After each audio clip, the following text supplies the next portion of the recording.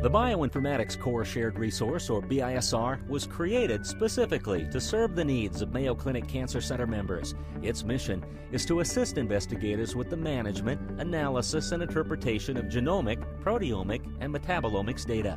The BISR staff has been quick to adjust to changing trends in genomics technology as demand for array based genomics has decreased and a need for next generation sequencing data pre-processing and analysis has surged.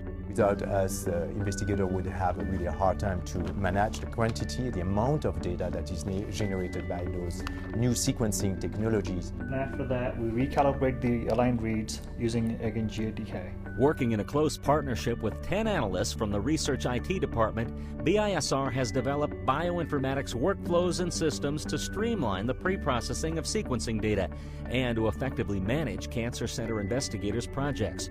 Over the past five years, the Bioinformatics Core has worked on more than 775 projects for 121 cancer center investigators.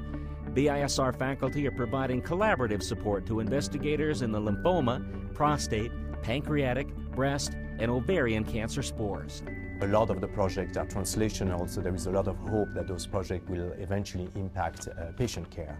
And that, I guess, is a drive for a lot of pe- the people in the group. The team is comprised of 40 full time bioinformatics experts located at all three Mayo Clinic sites in Minnesota, Florida, and Arizona, offering a full suite of cutting edge bioinformatics service lines.